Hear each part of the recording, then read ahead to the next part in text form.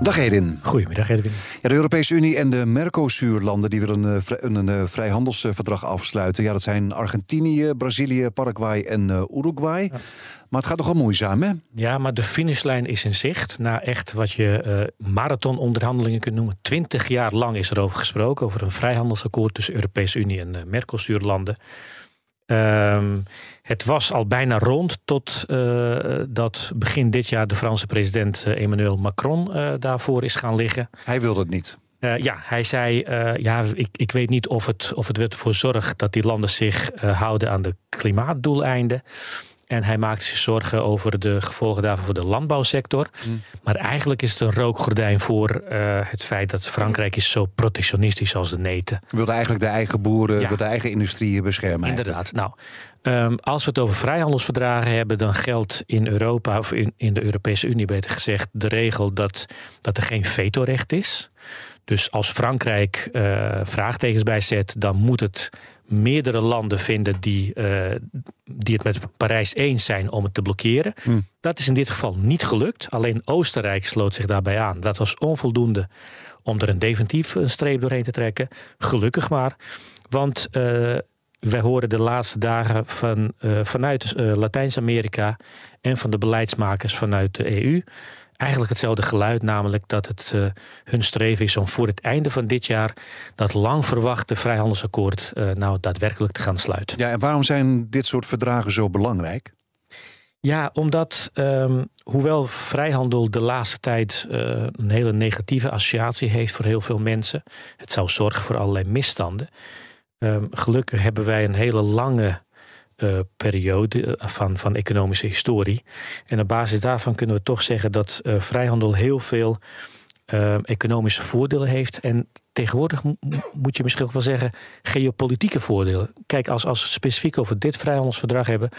Als je de banden met een Brazilië, Argentinië aanhaalt, dan verklein je de kans eh, dat die landen eh, hele goede vriendjes gaan worden met China eh, tegenover de Europese Unie in dit Dat het blok geval. van China alleen maar groter wordt. En, dat komt je dan dat ook wel vanuit hebt. geopolitiek goed Ja. uit. Maar economisch heeft het gewoon heel veel voordelen. Wij weten dat door vrijhandel kunnen wij als consument betere spullen kopen, kwalitatief betere spullen, die ook nog eens goedkoper zijn. Mhm. Ehm, omdat ze gemaakt worden op plekken in de wereld waar dat het meest efficiënt kan. Ja. Het zorgt er ook voor. En tegen lagere kosten dus. Het zorgt er dus daarmee ook voor dat de inflatie lager is. Want als je spullen kunt kopen uit andere landen, die ze dus goedkoper kunnen maken en beter kunnen maken, ja, dat, dat eh, levert lagere inflatie op.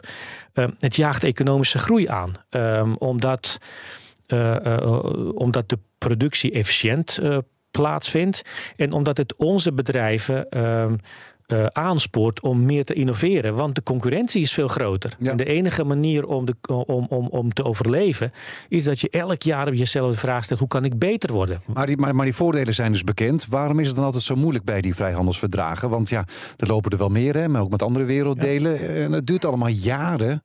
Omdat, omdat eh, de eh, tegenhanger daarvan, als het ware, het protectionisme. Daar zie je op korte termijn eh, veel eerder de, de, de voordelen, laat ik het zo maar noemen. Eh, je moet je voorstellen als een politicus eh, naar een regio gaat waar heel veel fabrieken zijn. Ehm, die eigenlijk niet efficiënt zijn. En hij zegt, of hij of zij zegt daar: Ik ga ervoor zorgen dat soortgelijke spullen die elders worden gemaakt op onze grenzen 20, 30 procent duurder worden. Ja, dan merk je meteen, op korte termijn merk je het voordeel, je bouwt je baan. Ja, Eh, dat is ook meteen de reden waarom het de laatste tijd zo eh, stroef gaat. Politici zijn vooral geïnteresseerd in korte termijn. omdat ze daarmee Omdat kiezers ze kunnen winnen. willen, eh, Ja. willen worden. Eh, economen en goede beleidsmakers zijn geïnteresseerd in middellange termijn. Mm. En middellange termijn betekent dat die winst op korte termijn, het behoud van eigenlijk inefficiënte banen, het overeind houden van inefficiënte bedrijven of zelfs hele sectoren, heeft een prijs. Eh, de prijs is hoe meer van dat soort inefficiënte bedrijven in een economie zijn, des te moeilijker het wordt voor die economie om te groeien. Mhm. Eh, de prijs is ook dat je de prijzen hoog houdt, dat de inflatie hoog is.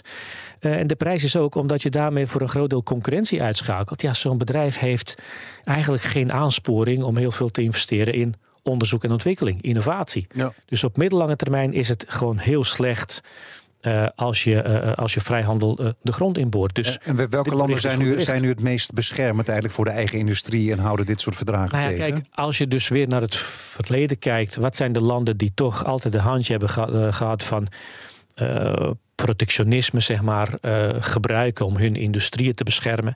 Dat zijn toch landen zoals Italië, uh, zoals Frankrijk. Wat zijn de landen die van oudsher uh, heel hard op de toer van vrijhandel hebben gestaan? We hebben het over de Verenigde Staten. Is ook een beetje aan het omslaan daar, hè? We hebben het over Zwitserland. We hebben het over Nederland. Nederland is rijk geworden. Door dankzij vrijhandel. Ja, ja. Ehm, dus vrijhandel is, is, is eigenlijk de weg naar structureel hogere welvaart. Dat weten wij als geen ander als land. Ja, maar, maar de VS weet het natuurlijk ook, maar die wordt ook steeds meer protectionistisch. Nee, en dat is een hele zorgwekkende ontwikkeling. Dat, dat zie je ook. En daar, daar komt heel mooi naar voren die focus op korte termijn. Waarbij je middellange termijn uit het uh, oog verliest. Je gaat allerlei inefficiencies in je economie creëren. Uh, als ik het voor het zeggen zou hebben, zou ik eigenlijk met onmiddellijke ingang uh, elke ontwikkelingshulp stoppen meteen. Mhm. En in ruil daarvoor onze grenzen opengooien voor producten die gemaakt worden in Afrika. Uh, want dan hebben zij een aansporing om beter te zijn. Ja. Kunnen ze hun spullen uh, verkopen op, in, op een hele uh, lucratieve markt.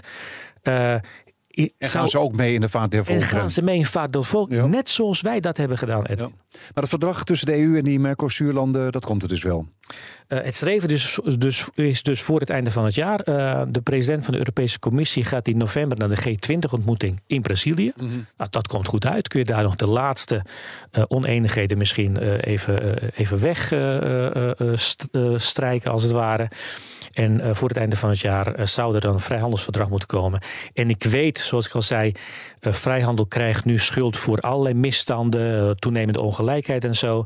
Maar onderaan de streep blijft, op middellange termijn is het veel en veel beter dan protectionisme. Dus als we dat verdrag voor het jaareinde hebben afgesloten, dan is dat de reden voor een feest. Eddie Moeikits, dankjewel.